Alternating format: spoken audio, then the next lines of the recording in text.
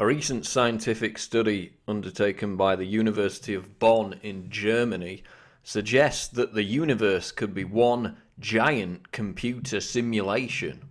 Moore's law dictates that computing power doubles approximately every two years, and eventually we're going to reach the stage where computers can artificially create a virtual reality which is indistinguishable from our own which begs the question how do we know it hasn't already been done?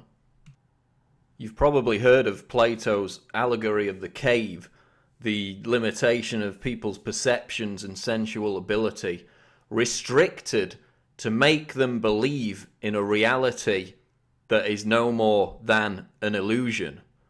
Now, this is the cosmic incarnation of that principle. Here's Wired magazine Cosmic rays offer clue our universe could be a computer simulation. If recent measurements of cosmic ray particles are correct, then we may have the first evidence that the universe as we know it is really a giant computer simulation. And basically, what these scientists discovered is that when cosmic rays fly through the universe, the energy that they lose is, quote, consistent with the kind of boundary that you'd find if there was an underlying lattice governing the limits of a simulator. And in this article, they make an analogy with a chessboard. Cosmic rays behave like chess pieces on a chessboard.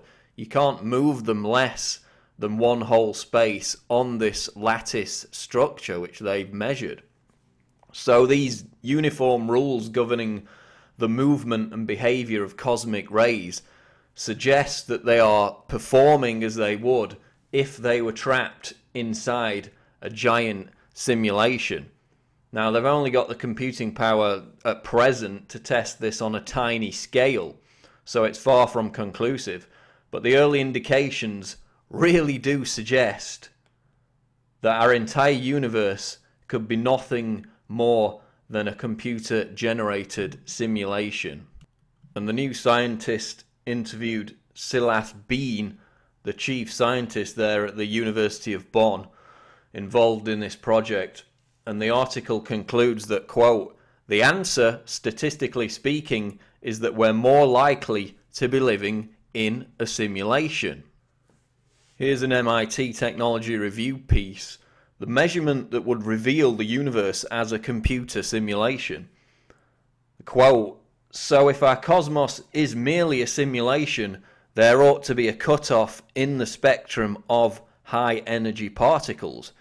It turns out there is exactly this kind of cutoff in the energy of cosmic ray particles, the limit known as the Greisen Zatsepin Kuzmin or GZK cutoff.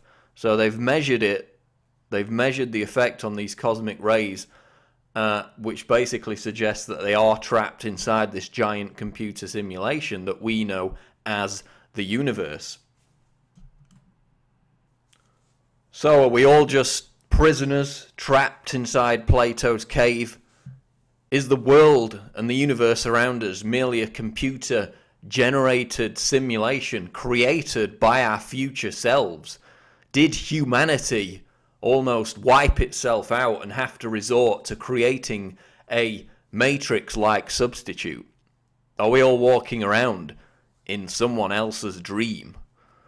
Unfortunately, we're all going to be long dead before anyone really knows for sure. And there's further reading in the description below. My name is Paul Joseph Watson. This is Infowars.com.